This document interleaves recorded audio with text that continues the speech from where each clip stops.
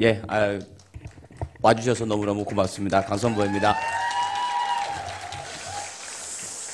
자, 이번에 책이 잘 나왔죠? 저기 지난번에 책 나왔을 때는 약간 전문가용 느낌이어가지고 한 권밖에 안 샀는데 이번엔 두, 번, 두 권을 살 생각입니다. 예. 예전에 이제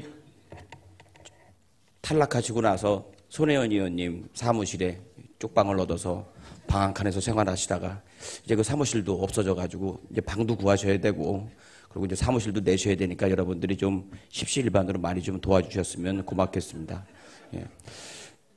서초동에 집회하러 갔다가 괜히 불 받아서 마이크를 잡는 바람에 방송이 24년 만에 그동안에 들었던 악플의 한 500배는 들은 것 같아요. 예. 사실 그것도 정청래 의원으로 시작이 됐습니다. 전화를 하셔가지고 너 가서 마이크 좀 잡을래? 근데 네 밥줄은 끊길 거야. 라고 전화를 하시질 말던가 전화를 하셔가지고 괜히 나가는 바람에 집사람하고도 굉장히 관계가 소원해졌었습니다. 예.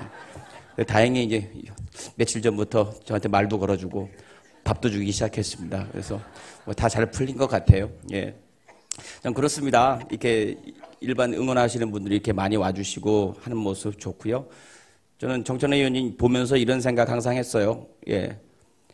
가서 큰 개가 되어서 정말 나쁘게 하는 분들 다 물어버렸으면 좋겠습니다. 그래서 정말 많은 힘없는 국민들이 바라는 우리 아- 자라나는 아이들한테 젊은이들한테 떳떳하게 정의를 얘기할 수 있고 떳떳하게 진리를 얘기할 수 있는 세상 만드는데 일조하셨으면 좋겠습니다. 마치겠습니다. 고맙습니다.